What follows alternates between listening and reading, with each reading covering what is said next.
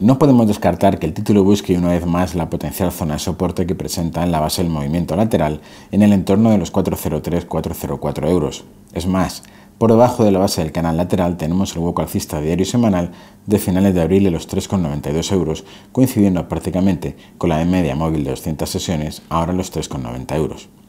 En cualquier caso, estamos hablando del segundo mejor título del IBEX 35, que sube un 38%, y el siguiente banco que mejor se comporta es Sabadell, con subidas del 33%. Por lo tanto, y en teoría, cualquier posible corrección que le acercara a la base del movimiento lateral debería ser interpretada a priori como una nueva oportunidad para subirse al tren de las compras. Como zona de resistencia, la más importante la encontramos en los máximos anuales, que también lo son históricos, en los 4,51 euros.